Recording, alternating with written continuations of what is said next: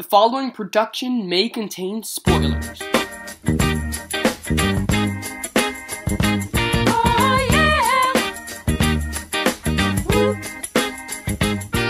Hey, this is Shadow the Jedi here, and today we'll be bringing you an awesome review of the Guardians of the Galaxy Volume 2.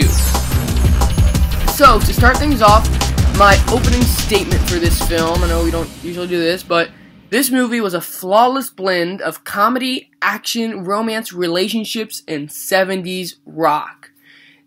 I love this movie. I know it's gotten some backlash for some of the stuff. Um, that it did in the movie, but I really liked it. The characters, they expanded on the relationships and some of the storylines that started in Guardians of the Galaxy Volume 1, and I'm hoping that I'm going to see some character arcs. We're starting to see halfway there, especially Gamora and Star-Lord. But for the most part, this movie was utter perfection. So I'll start things off with going over some of the different areas that I want to cover. So first off, we have the soundtrack. I'm going to give that a 9 out of 10. Amazing. So I loved how they had, um, I'll talk about this later, but Father and Son was awesome. Fox on the Run in the trailer. Come a little bit closer, Mr. Big Stuff, Mr. Blue Sky, The Chain. There was a bunch of amazing songs. I know I'm not going to be able to fit them all in here. But yeah, Guardians of the Galaxy, you've done it again. Amazing music. Next off, we got the characters, and I'll also be expanding on this a little later. Um, we have a 9 out of 10 amazing characters.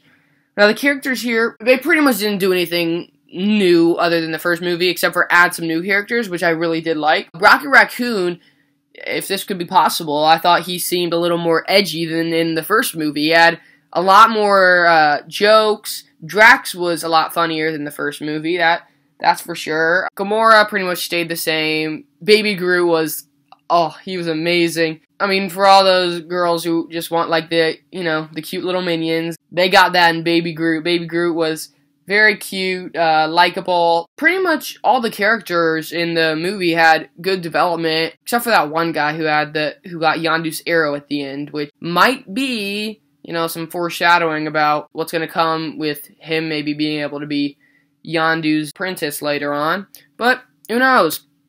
So the storyline, I'm giving that a 9 out of 10 amazing as well. So, so far we have 9 out of 10 amazings all across the board. And I think that says something about the quality of this film. The story, I mean, I know it had a blend of a lot of different things, but it it truly was a blend. It was perfectly mixed. There's a little bit of everything, a little bit for everyone. It was very graceful transitions from comedy to action to romance to music, everything in between, and I just really thought it was a, a beautiful film. So now we're going to talk a little bit about each character, the, my thoughts on each character. So we have Ego, which he's Star Lord's dad. You can't, you know, that's pretty awesome. You gave birth to Star Lord, but then you find Ego is almost cooler than Star Lord. I mean, I don't know if we're talking about the planet or the person, but the planet was absolutely beautiful. The computer graphics, they were amazing, uh, animation, but his origins were a little cloudy. Like, when he tried to explain his backstory, it was a little bit hard to follow, but his powers were absolutely amazing.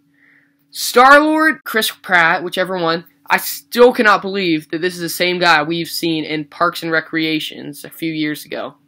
Rocky Raccoon, Boba Fett, please sign this trash panda into your next bounty hunting excursion. Gamora, quit playing hard to get. We knew you liked him since the first movie.